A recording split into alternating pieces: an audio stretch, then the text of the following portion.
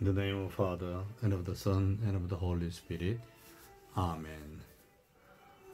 The coronavirus prayer.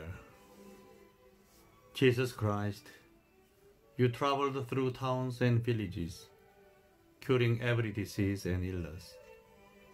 At your command, the sick were made well. Come to our aid now, in the midst of the global spread of the coronavirus that we may experience your healing love. Heal those who are sick with the virus.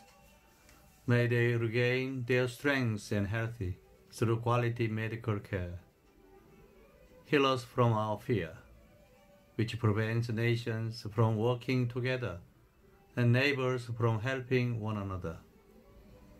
Heal us from our pride, which can make us claim invulnerability to a disease that knows no borders. Jesus Christ, healer of all, stay by our side in this time of uncertainty and sorrow. Be with those who have died from the virus. May they be at rest with you in your eternal peace.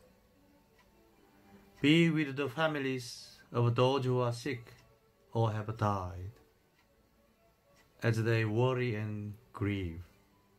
Defend them from illness and despair. May they know your peace.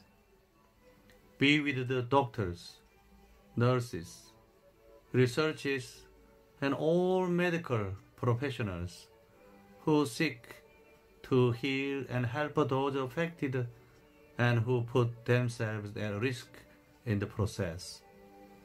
May they know your protection and peace. Be with the leaders of all nations. Give them the foresight to act with charity and true concern for the well-being of the people they are meant to serve.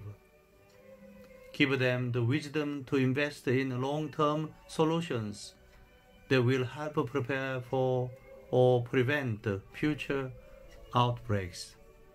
May they know your peace as they work together to achieve it on earth. Whether we are home or abroad, surrounded by many people suffering from this illness, or only a few, Jesus Christ, stay with us as we endure and mourn, persist and prepare. In place of our anxiety, give us your peace. Jesus Christ, heal us. Amen.